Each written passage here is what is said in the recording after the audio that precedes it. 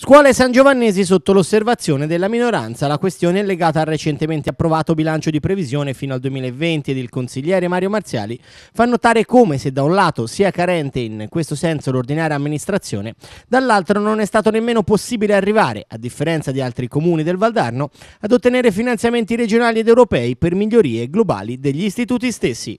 Le scuole a San Giovanni in questo momento eh, se entriamo in una scuola come potrebbe essere le medie Masaccio oppure la scuola elementare del Porcellino, bisogna entrarci con l'ombrello.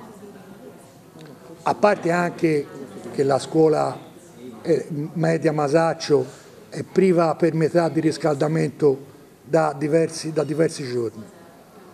E ci meraviglia il fatto che comuni come Cavriglia, come Buscine, come Pergine, come Montevarchi abbiano ricevuto 2 milioni cada uno per, ristruttura, per ristrutturazione delle scuole. E noi niente.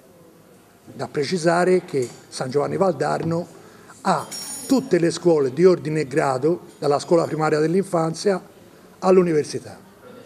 Quindi allora cosa pensiamo noi?